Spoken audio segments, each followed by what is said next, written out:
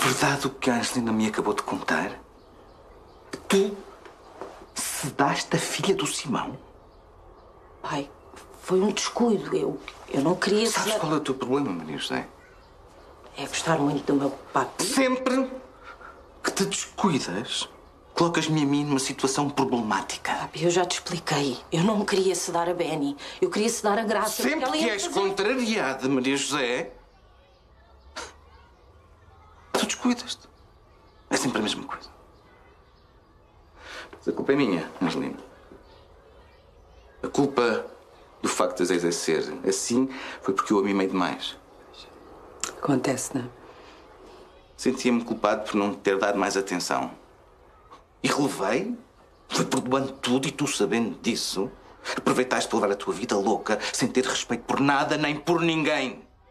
Pôs em perigo, em perigo, a vida de uma criança. Não podes continuar a trabalhar mais neste colégio. Pai, não fazes isso. As- As tartaruguinhas são. são a minha vida. Eu não sou nada se- sem elas. Elas são a minha energia. E eu vou-te dar a oportunidade de continuares a trabalhar com as tartarugazinhas.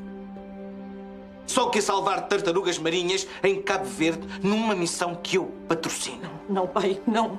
Pai, Cabo Verde? Não, tu não podes fazer isso, pai. Cabo Verde é o fim do mundo. Não fazer muito chegar- bem passar uns tempos em Cabo Verde. Mas eu não quero! Tu não tens de querer neste caso!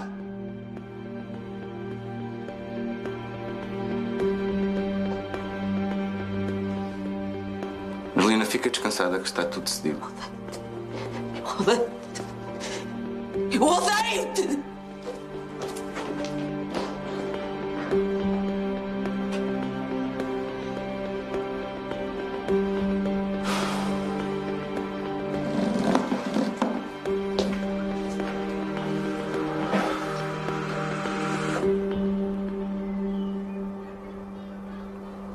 Difícil ser pai, é muito difícil.